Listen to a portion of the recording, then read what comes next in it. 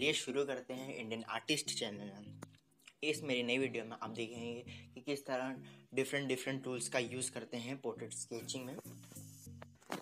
Firstly start करेंगे pencil से कि किन डिफरेंट डिफरेंट पेंसिल का यूज़ करते हैं पोर्ट्रेट स्केचिंग में। ये आपको स्क्रीन पर शो हो रही होगी different different pencils four H three H two H H B two B three B, four B, five B, six B, seven B, eight B, nine B and ten B. मैं मेरी sketching में, portrait sketching में इन सभी pencil का use करता हूँ। Different area के लिए डिफरेंट पेंसिल्स। ये आपको शो हो रही होगी स्केल। कोई सी भी स्केल का आप यूज़ कर सकते हैं। अधिक, वैसे तो स्केल का यूज़ किया जाता है।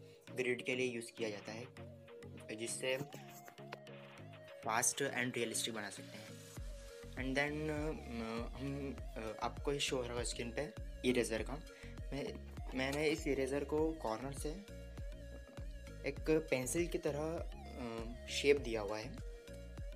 आप इसे एक नेक इरेज़र की तरह भी यूज़ कर सकते हैं।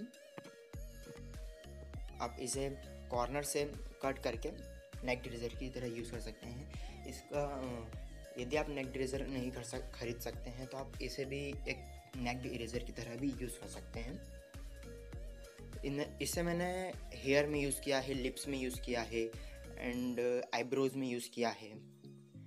और देन वाइट पेन पे आते हैं। वाइट पेन भी आप यूज़ कर सकते हैं, या फिर वाइट पेन यूज़ किया है मैंने। वाइट पेन भी बहुत यूज़फुल रहता है। स्मॉल स्मॉल एरिया में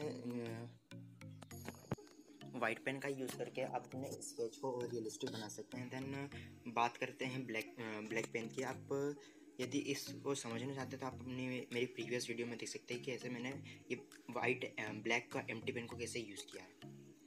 देन टिश्यू पेपर का यूज़ किया जाता है स्केचिंग में, जिससे हम हमारे स्केच को और स्मूथ बना सकते हैं। आप इसे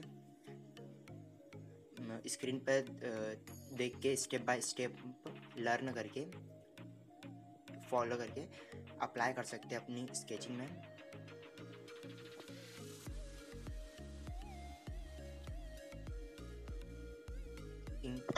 एंड देन ईयरबड्स ईयरबड्स का भी इंपॉर्टेंट रोल रहता है स्केचिंग में।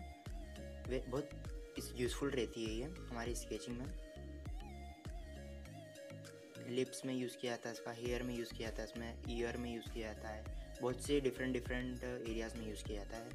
एंड वाइट क्लोथ का भी बहुत यूज़ किया जाता है, इसको टिशू पेपर की तरह भी यूज़ कर सकते हैं। पर मैं रिकमेंड करूँगा आप टिशू पेपर यूज़ करें वाइट क्लोथ के ज़रिए। यदि आपके पास टिशू पेपर नहीं है तो वाइट क्लोथ को भी यूज़ कर सकते हैं फोल्ड करके हैंड में फोल्ड करके।